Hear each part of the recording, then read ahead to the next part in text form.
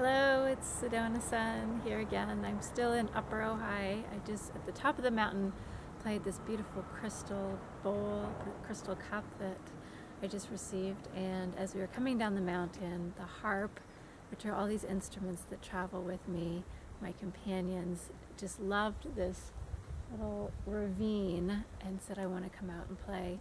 And just as I got set up here, I wish I could show you up this beautiful hill but a tree fell and it was just so symbolic because I'm so connected to nature and the trees and it was like it was almost as if the surrounding had applauded me this loud sound uh, awakening this experience. So the harp actually was out of my hands for three months and it just came back. It's another one of the many many miracle stories that keep happening in my life where things just come to me really, really easily. And if it's not working in your life, I hope I can help you make that happen. So here's a little celestial light.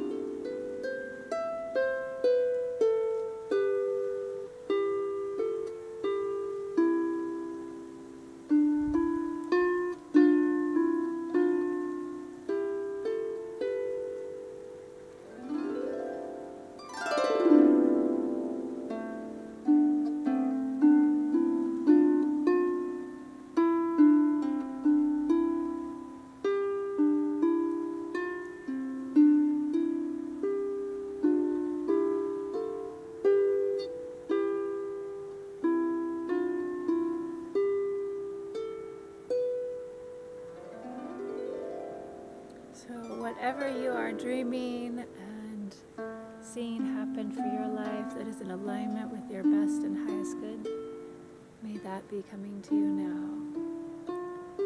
Signing off from this beautiful ravine in Upper Ojai. Sit down in the Sun and celestial light, my harp.